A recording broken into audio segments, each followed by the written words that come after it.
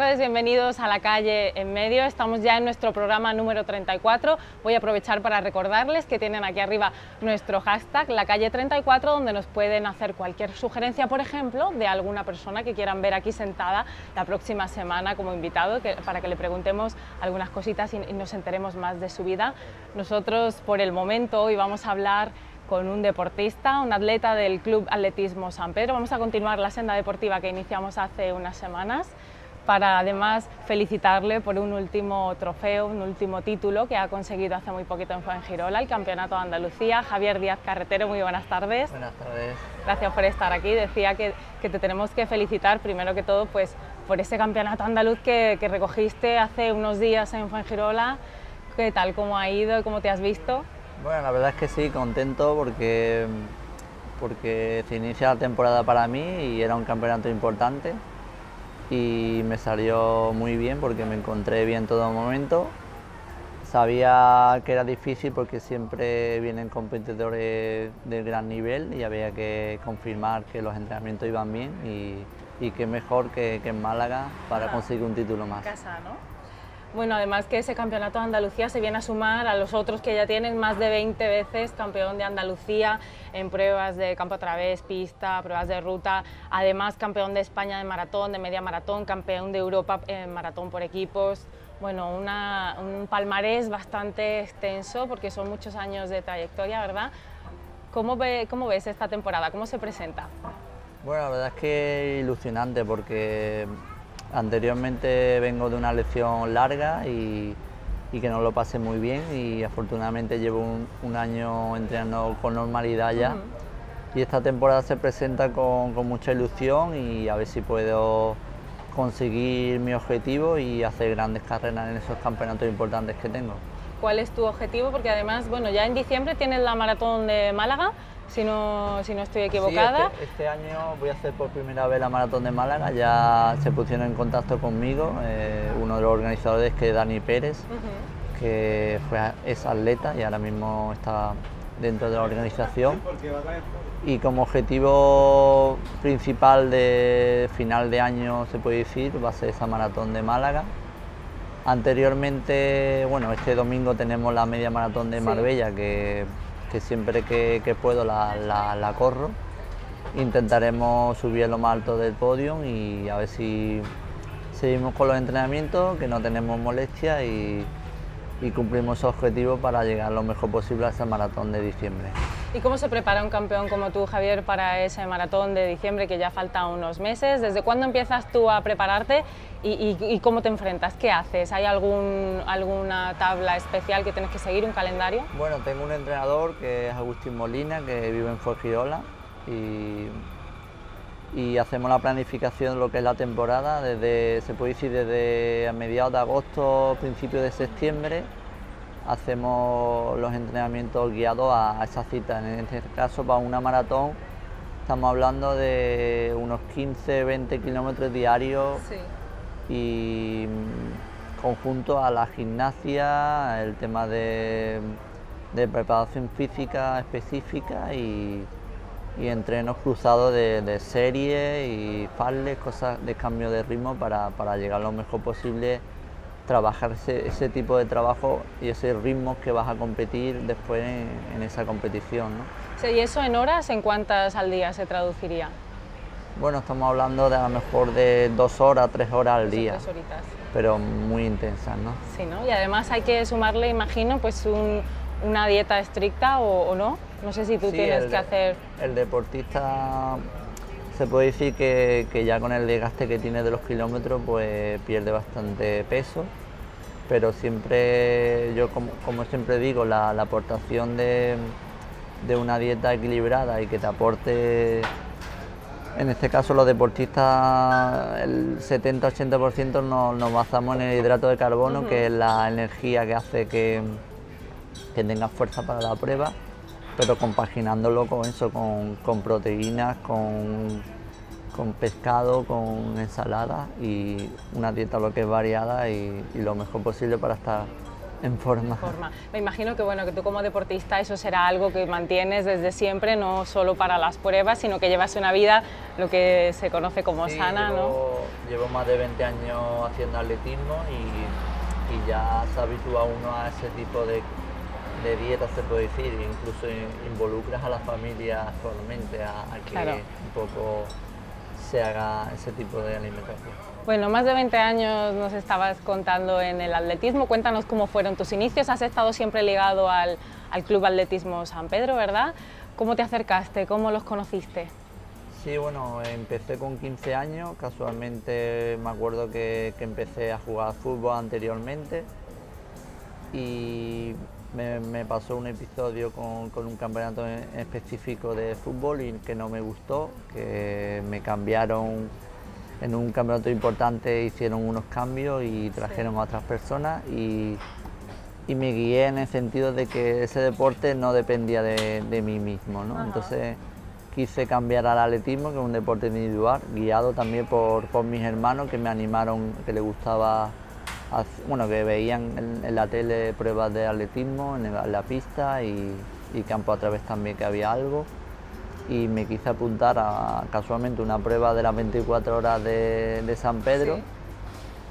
Y no me fue mal porque quedé tercero sin haber apenas entrenado y tener ningún club y hizo, claro, ya te animó, ¿no? La primera prueba, va, si quedas el tercero. me animó a apuntarme al club de San Pedro que, que actualmente, bueno, en eso entonces lo llevaba Loli Garre y fue mi primera entrenadora. Después pasó a Francisco García Barrio, que fue un corredor de Barcelona que actualmente está viviendo en San Pedro, se afincó aquí y el que nos vio un poco ya más para entrenamientos más específicos para, para los grandes campeonatos que, que vinieron después. ¿no? Porque el, papel del entrenador, entiendo por lo que nos estás contando, que es muy importante ¿no? en la trayectoria, en el desarrollo del deportista. Para mí, dentro de la clave, como yo digo, el, equipo que tienes que tener eh, entra el entrenador y ya cuando haces más kilómetros, pues estamos hablando de fisioterapeuta, médico y todos los sponsors que pueda tener. Es como un equipo que hacen que sin ellos no puedas conseguir esos, esos triunfos. ¿no? Bueno, Javier, tú desde los 31 años más o menos estás corriendo maratones, pero me imagino que uno no empieza desde el primer día pensando que ese es su objetivo, o sí, no lo sé, pero que la trayectoria tiene que ser ascendente, ¿no? Uno empezará con carreras más cortas y luego va subiendo. ¿Cómo ha sido la tuya? Empecé con 15 años y, con 15 años pues me acuerdo que empecé con pruebas de pista de 800 metros, que son dos vueltas a la pista, Después hice 1500, que son tres vueltas y media. Pasé después a las pruebas ya más de fondo, que son de 5000 y 10000, que son 12 vueltas y media y 25 vueltas, que es la máxima prueba, la de 10.000. Y fui dándome cuenta que, que mi distancia, que me encontraba mejor en distancias más largas. Entonces a partir de ahí, ya cuando dejé la pista, veía que, eran pruebas muy muy rápidas para mí, en que son 10 kilómetros, pero veía que eran rápidas para mí a, niveles, a nivel nacional, a nivel andaluz, pues me defendía, pero a nivel nacional para ser internacional o buscar objetivos más ambiciosos veía que, que me encontraba mejor en distancias más largas y ya pasé a la ruta, la ruta estamos hablando de media maratón 21 kilómetros y 42 la maratón. Maratón es la prueba oficial que hay en campeonato de Juegos Olímpicos, que es la prueba reina se puede decir, y, en eso estamos. En, quizá pues he tenido un poco de mala suerte en los años olímpicos y no he tenido esa pizca de suerte que he tenido en otros años que he podido ser internacional. Lo dices porque eh, en los pasados Juegos de Río te quedaste a muy poquito ¿no? de participar. ¿Qué es lo que ha pasado? ¿Por qué se truncó ahí? Ese que estaba ahí muy cerquita ya. Sí, bueno, se puede decir que las dos opciones que he tenido reales de ir a unos Juegos Olímpicos han sido 2012 y 2016. 2012 casualmente elegí porque estamos hablando de una maratón que no se pueden hacer muchas maratón, muchas maratones al año, no como otra prueba de 1500, 5000 que puede hacer varias en el año. Son distancias muy largas, con preparación muy específica de muchos meses y elegí a la maratón de Milán. Casualmente cuando fui a la maratón de Milán el día anterior estaba diluviando Y decidí al final con mi representante por correr. Estaba, había hecho una preparación muy buena y decidimos correr con la mala suerte que muscularmente fue mermando porque la noche antes llovió muchísimo, pero es que durante la prueba llovió igual, casi toda la prueba lloviendo, no, no chispeando, lo, que se suele decir lloviendo. ¿no? Que los agentes externos no, no, jugaron a favor. Y muscularmente pues lo pagué hasta el kilómetro 30-35, iba a ritmo de mínima para ir a los juegos, pero a partir de ahí pues muscularmente lo noté un poco y ahí sí que me quedé más cerca, estuve a dos minutos de hacer la marca mínima. Pero bueno, no perdiste la ilusión ¿no? y lo volviste a intentar. Lo volví a intentar en el 2016, con la mala suerte de, tener una lesión bastante grave, de tener que operarme dos veces en el, año 2015 hmm. y tener muy poco tiempo para preparar una prueba como una maratón. Entonces en 2015 se puede decir desde enero hasta julio estuve, estuve parado, recuperándome de, las dos lesiones que tuve. Y a partir de septiembre de 2015 pues empecé a preparar esa maratón que fue en febrero del 2016. Bueno, nos hemos quedado con esa espinita, pero ¿qué objetivos tienes eh, en mente Javier? Bueno, ahora mismo, como yo digo, disfrutar de, esto, eh, intentar ser competitivo y, luchar por, estar entre los mejores de España, como siempre digo, eh, ambiciones grandes y, ver que, puedo ser competitivo y siempre que me respete las elecciones y el cuerpo, pues estaremos ahí luchando, tanto por el club que pertenezco, que es el Club de San Pedro, que me trata súper bien y llevo tantos años, como todo el equipo ese que he dicho anteriormente, entrenador, médico, eh, fisio y los sponsors, que en este caso estrenamos marca deportiva que se, se llama Sural en ropa y también vamos a, iniciar la temporada con una marca de calzado que se llama Okawan. Bueno, porque los patrocinadores también muy importantes siempre. Eh, eh, tú que llevas tantos años, Javier, practicando atletismo y que además eres de San Pedro, ¿qué necesidades hacen falta aquí para que los chavales y, los que quieran, pues como tú, seguir en este deporte, puedan desarrollarlo y entrenar con, todo lo que hace falta? ¿Cuáles son las necesidades yo creo San Pedro? Que, que, San Pedro en este caso tiene, tiene bastante habitante y bastante afición al atletismo, ya lleva una base bastante buena y lo que pedimos desde, desde cuando yo empecé, eh, que veía cómo la gente competía en Málaga, en Torremolinos y en Fuengirola, había pruebas de, de pista a nivel regional. Sin embargo, Marbella no ha tenido una, pista homologada, a no medir lo que es la, la calle 1, los 400 metros, entonces no ha valido para competiciones entonces, oficiales.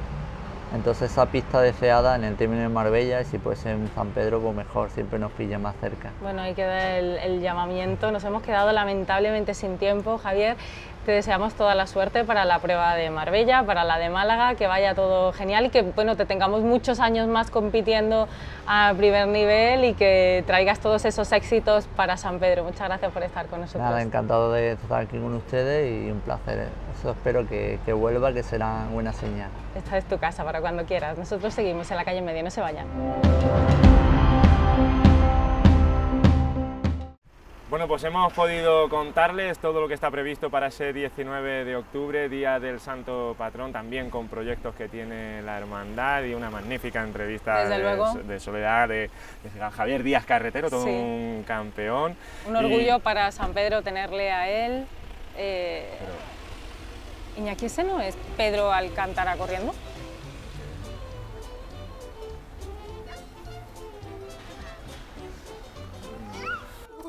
¿Pero Pedro? ¿Pero viene? Vengo corriendo. Es que claro, como salga algo de San Pedro aquí, quiero igualarle la marca. ¿A, Javier Díaz Carretero? A Javier Díaz Carretero tengo que entrenarme para ser como el galgo de San Pedro igual. Ojo, lo tienes Entonces por eso vengo, creo yo, ¿eh? Tú sabes que él lleva muchos años entrenando, bueno, ¿no? No importa, pero yo vengo corriendo desde Estepona aquí, eso no importa. Lo que yo, donde no llegue yo, no llega nadie. Pues anda, anda, anda, anda. Bueno, sigue, sigue, sigue, sigue, entrenando que, que te, queda, te queda tarea. No, no sabemos si, si, Pedro Alcántara conseguirá llegar a las marcas de Díaz Carretero, a, ver si la semana que viene... yo lo veo difícil. Yo creo que no. A ver, la semana que viene se lo, se lo contamos, seguimos en nuestro programa La Calle en Medio aquí desde Barbulla. Ya saben que si quieren algún modelo de moda española pueden ir a la calle Lagasca números 4 y 5, donde estará la boutique Sofía Rojas esperándoles para asesorarles, para que lleven el mejor modelo a cualquier ocasión. Pues nada, después de este consejo simplemente decirles que hasta la semana que viene. Hasta la próxima.